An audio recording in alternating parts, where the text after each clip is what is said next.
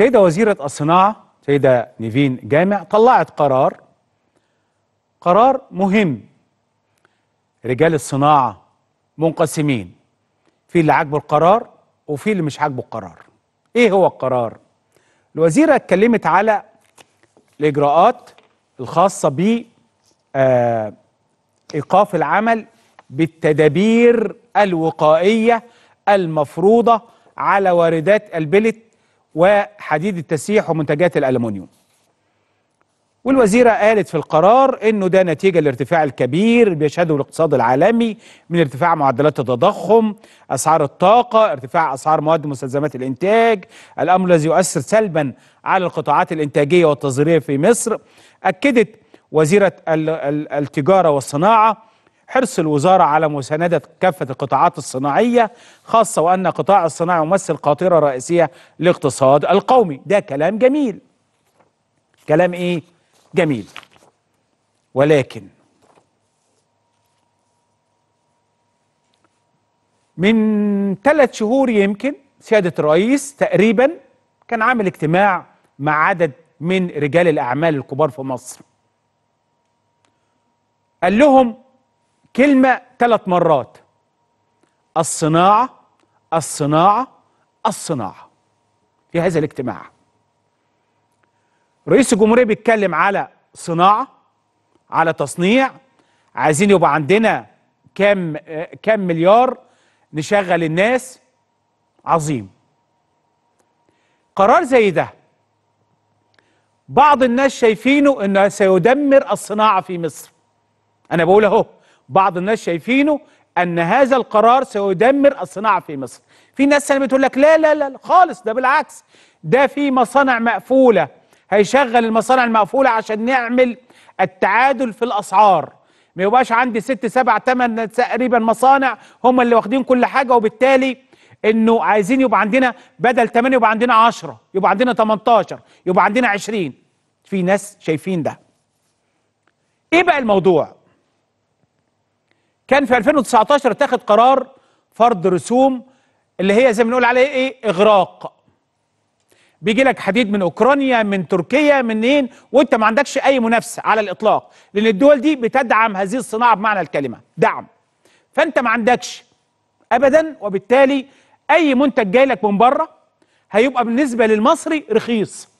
أنت بتدي كهرباء بتزود بتزود غاز بتزود لا- كذا حاجة فيبقى إيه؟ المنتج في الآخر غالي.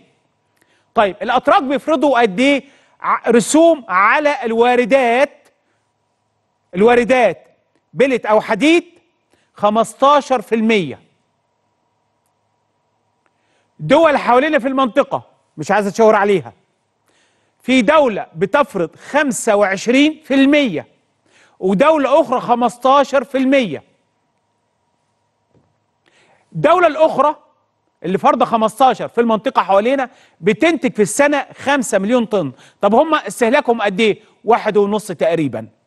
يعني يقدر ينزل بكرة السوق عندك هنا أهو 3 ونص مليون طن رخيص جدا. والمنتج المصري كل سنة وأنت طيب. مصانعك اللي موجودة في مصر هتعمل إيه؟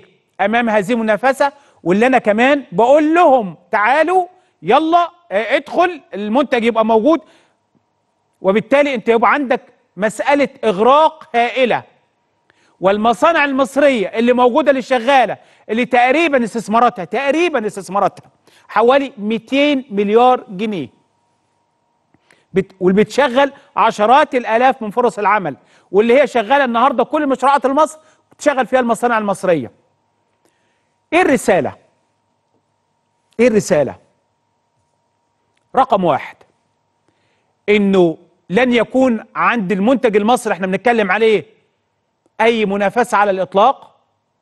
هتخرج من هذه المنافسة وتدي الأفضلية لكل آه، آه، آه، الحديد اللي جاي لك من أي دولة هيبقى رخيص جدا وهو الأساس. طيب رقم واحد في الجزئية دي من عدة سنوات وأنا متذكر ده جيدا حديد جاي مش عارف منين و و وتلاقى عمارات ده أصل الحديد ده فاسد وأصل الحديد ده كان فيه مشاكل وعمارات وقعت وحاجات وقعت ومشاكل وقعت.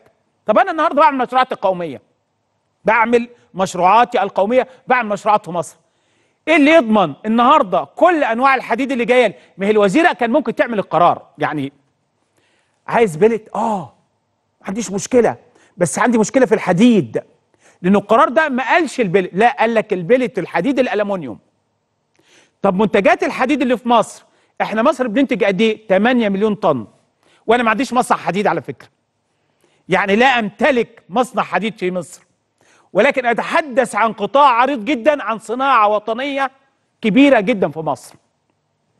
عشرات الآلاف من فرص العمل اللي موجودة في هذا القطاع. القطاع ده أو أو ال ال- المصانع ديت أو الصناعة ديت صناعة ثقيلة. وصناعة ثقيلة أنا بحملها كمان حاجات كتير. زي زي حاجات كتيرة اتحملت الفترات اللي فاتت على قطاع الصناعة. فبقى عندنا مشكلة في الصناعة. عندنا مشكلة.